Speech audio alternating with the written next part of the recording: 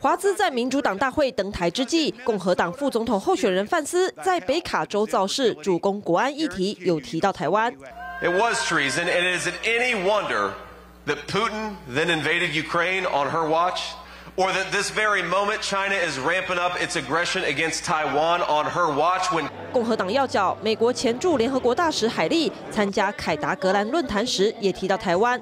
他说，在北京施压下，当时台湾想协助全球防疫，却爱莫能助，是时候该让台湾加入联合国了。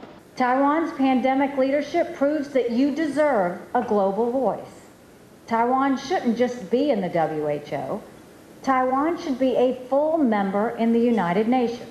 川普前副手彭斯则在这时候投书《华盛顿邮报》，标题是“不能让台湾沦陷”。文中提到，1950年麦克阿瑟的最高机密备忘录就警告，如果台湾被中国控制，对美国战略利益是严重威胁。他强调，台湾是阻止北京在印太扩张的重要屏障。中国并吞台湾，就是为了控制全球半导体供应，这将严重威胁美国利益。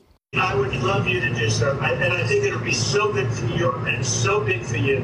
另外传出第三势力小罗伯甘乃迪有意推选，川普积极游说拉拢。小甘乃迪接受 ABC 访问时，致痛批贺锦丽顶替拜登参选不符合民主程序，是否加入川普团队还没有明说。TVBS 新闻综合报道。